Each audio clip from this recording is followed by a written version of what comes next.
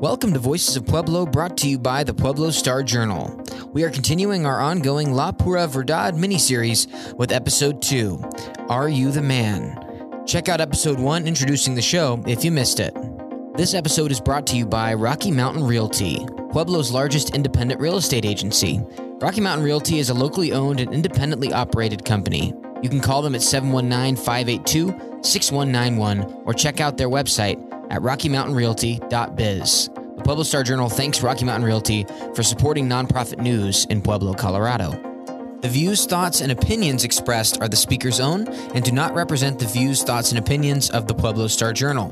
The material and information presented here is for general information purposes only, and its use does not imply endorsement of or opposition to any specific organization, product, or service by the Pueblo Star Journal or its affiliates. The Pueblo Star Journal name and all forms and abbreviations are the property of its owner, who reserves all rights. The content herein is not intended to be a substitute for professional advice in any manner, and the Pueblo Star Journal hereby disclaims all liability arising directly or indirectly from any use of this content.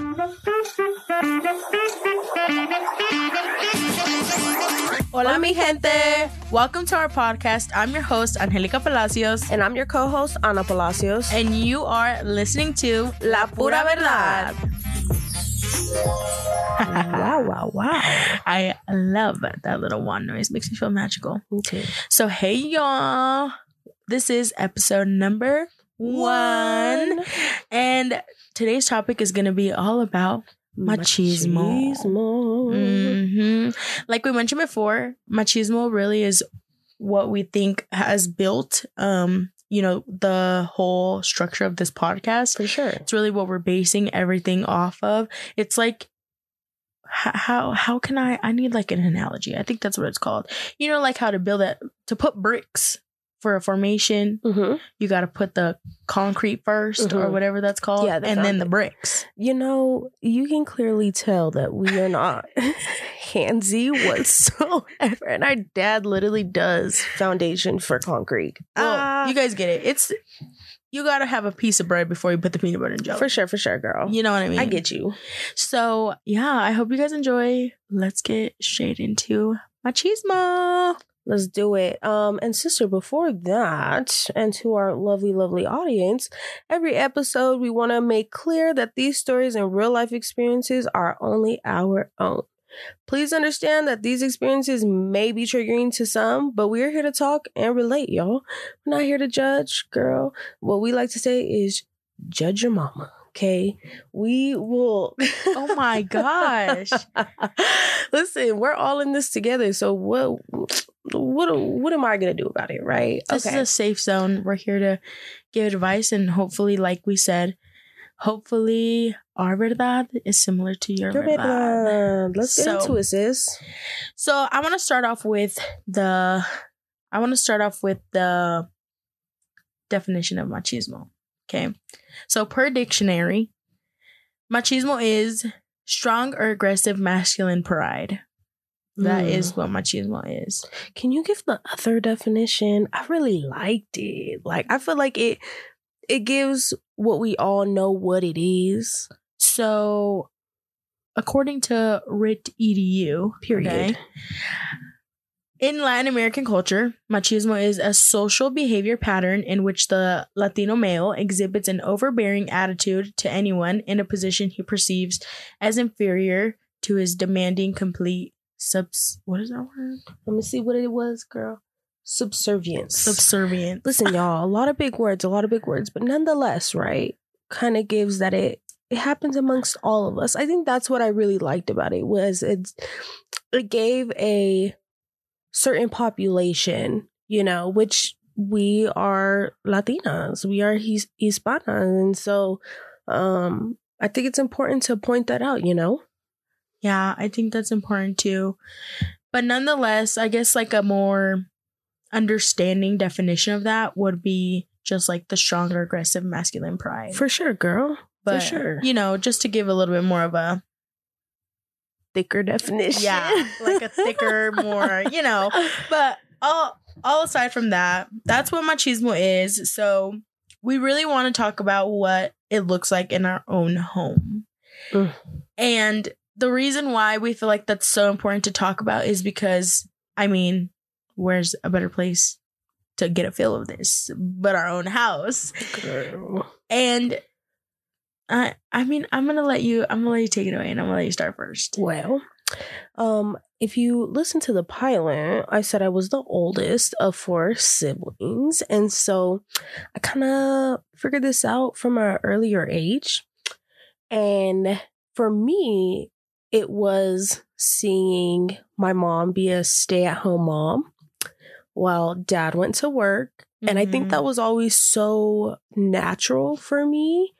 Um, I really thought everybody's moms were stay at home moms. Even if they had a job, they were stay at home moms. That's what I thought, right? yeah, Um, and why? Because growing up, uh, I just saw the women cleaning. I saw the men outside and I saw the women cleaning. Like, I mean, I don't know what else to say, y'all. This is real life. And so, yeah, um, and then I think I really had a realization about what machismo was in our home when I got older.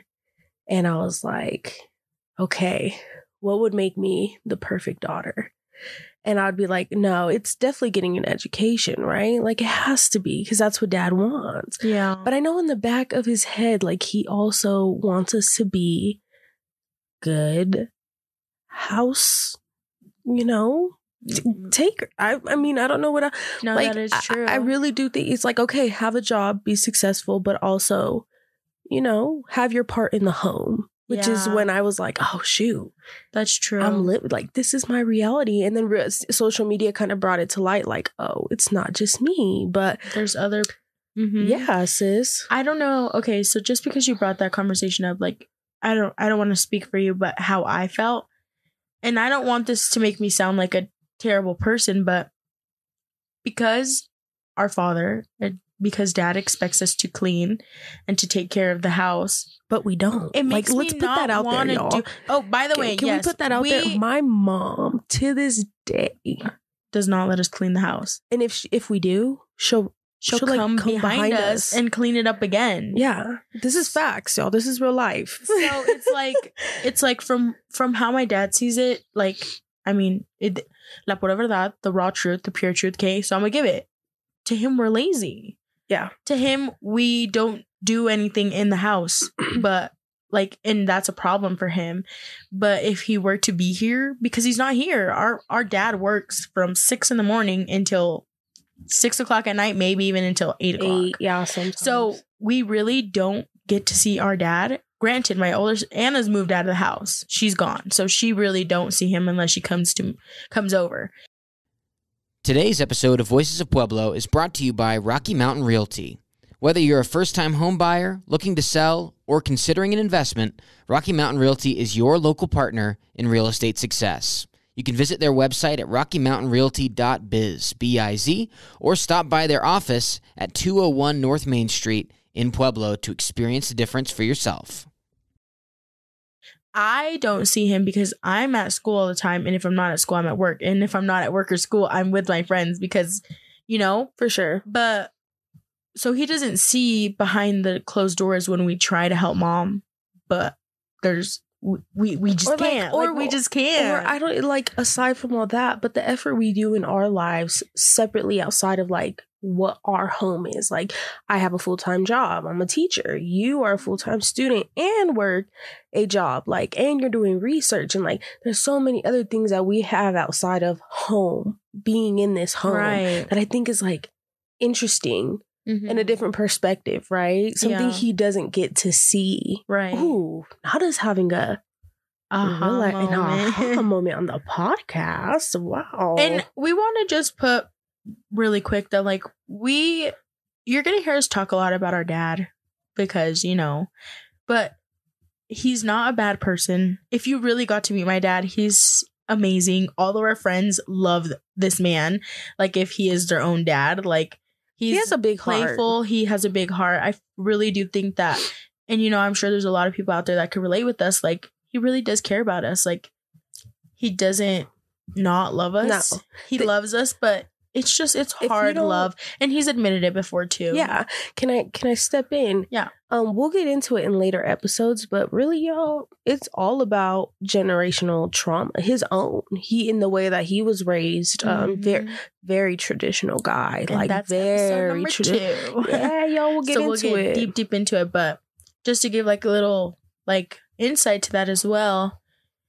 Their generational traumas become our generational sure. traumas because it's, and I, I I promise we'll get more deep into it when we get into that episode, but it affects how we are in our own personal relationships. Girl. And that's another thing that we wanted to talk about on this episode is how machismo being like shown in our own lives from a person who we hold very dearly in our heart. How does it affect how we in our relationships with other people, how we react with other people? can I start? Yeah, go ahead. okay because i just feel like it's so appropriate for me to start. Um when i say personal relationships i want to start with friendships with boys and i think we should do that right? Start with friendships with boys and then go to relationship and that you know right? Because i was thinking about that. I was like ooh friendships with the boys that's also interesting. Growing up i was like if i have a friend who's a boy he's gonna protect me Mm. That's crazy, right? now true. I'm like, I got to be very cautious about the men that I or I don't have to be, but I am because I'm like, they're not. These boys aren't gonna protect me. You know what I mean? I gotta, I gotta do this on my own. So it's like, okay, it's a deeper. Con- what I feel like that the friendship one that should be something we add to another conversation because that's that that one's deep, right? Relationship wise. I think because dad took on that macho, I'm the man, like, and I didn't like that. I never liked that because I was like, my mom, she got this, right? Like, she has this. Right. So I'm like, if my mom has it, I have to have it. So in my only relationship with a boy, I was very dominant because I was like, tú no me vas a mandar. yeah. Yo mando. And it should never be like that. You know what I mean? There should never be like who rules the relationship, who wears the pants. I hate that. Who wears the pants? Who cares? It should never Why can't be we both wear the same pair of pants? Or right, right. Me and Tay wear the same size, like right? i don't know i i think it's very important to mention what happened a couple months ago with you and dad oh, about like that really portrays like Oh no, y'all, for real. Okay. Uh, newsflash to anybody who doesn't know.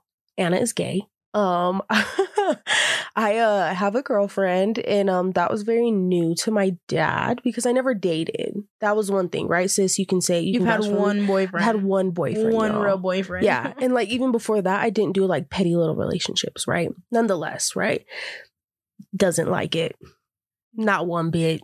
Doesn't like it. i think and, and that has a lot well this will also come up again in the generational traumas or like just you know if anybody knows in hispanic culture we are not religious eh, but in the hispanic culture religion is very For dad, highly. But if you really ask him, like we're not religious though. Nah, but like we but- are, but like we're not. Well, I think do you get what I'm saying? This is gonna have to be another episode because I have my own observations. That is very. I think we're gonna have to skip that because, girl, fifteen minutes is not enough for that topic. right. Sorry guys, we only have 15 minutes, Nonetheless, but nonetheless. But what about you, sis? Really quick, get into you. Relationships, I have a boyfriend. right? We've been together for two years. And it's hard. It's really hard because I am like how you were with your only male relationship. I am always the mm-hmm. dominant one. And what I mean by that is like I am always like so independent. Like my boyfriend has even told me before, like, just let me take care of you. And I'm like, no. I Like, got this. I got this. I can take care of myself. And sometimes it's like really upsetting because like there are times where like I want to be babied, I want to be taken care of.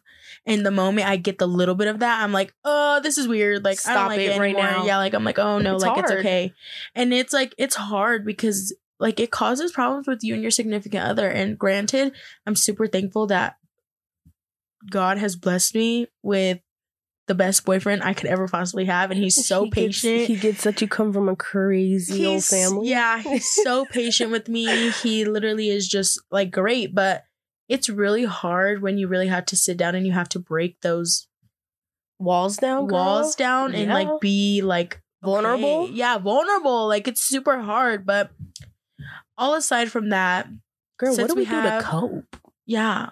What do you do? What I, I want to know. What do you do to be like, okay, I'm I'm not a housewife. I I don't have to clean if I don't want to today. I'll can can I go because I have it in the back of my head right now, girl. Yeah, go ahead. I str- I have the worst guilt when I'm home and Tay's working because being a teacher, I'm girl, I'm off the clock all the time, okay? And I just don't want to clean. You know what I mean? And I'm like, but you need to clean. You have to clean because your partner just worked all day and they're gonna come home to a dirty house.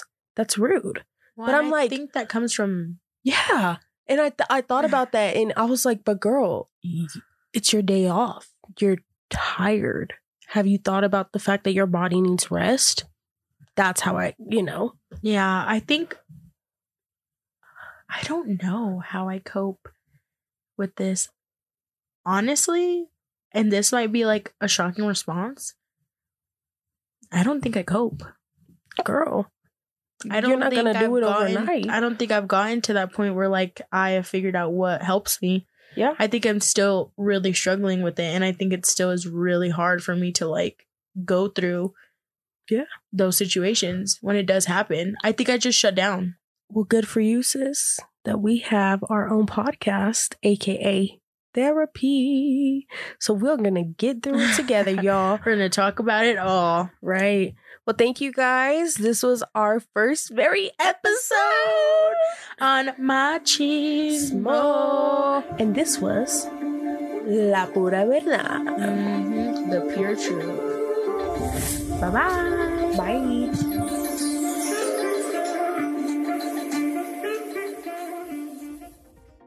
Thank you so much for listening to the Voices of Pueblo, brought to you by Rocky Mountain Realty. Rocky Mountain Realty invites you to experience the power of community with their local brokers. They have over 40 local real estate agents ready to help you with all of your real estate needs.